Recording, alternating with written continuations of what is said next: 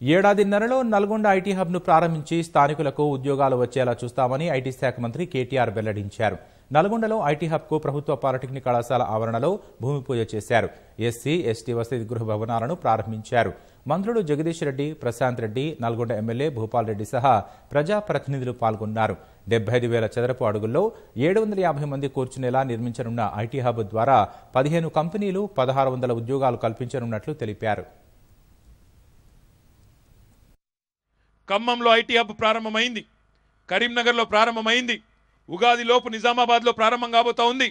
అతి త్వరలో మహబూబ్ నగర్లో ప్రారంభం కాబోతా ఉన్నది.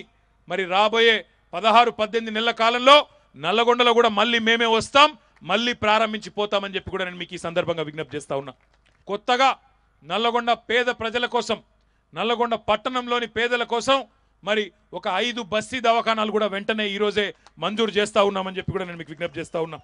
అదేవిధంగా ఒక వెజ్ నాన్ వెజ్ మార్కెట్ కూడా సమీకృత వెజ్ నాన్ వెజ్ మార్కెట్కి కూడా నాలుగున్నర కోట్ల రూపాయలతో ఈరోజు శంకుస్థాపన చేస్తూ ఉన్నాం. దాంతోపాటు ఆధునికమైన రెండు వైకుంఠ ధామాలకు కూడా మూడు కోట్ల రూపాయలతో ఈరోజే పనులు మొదలుపెట్టమని ఆదేశాలు ఇవ్వబోతా ఉన్నాం. దాంతోపాటు మరి ఇప్పటికే ఒక వంద కోట్లు విడుదల చేస్తున్నాం కానీ వంద కోట్ల రూపాయల ఆదేశాలు ఇచ్చున్నాం కానీ ముప్పై కోట్లు మాత్రమే విడుదల చేస్తున్నాం.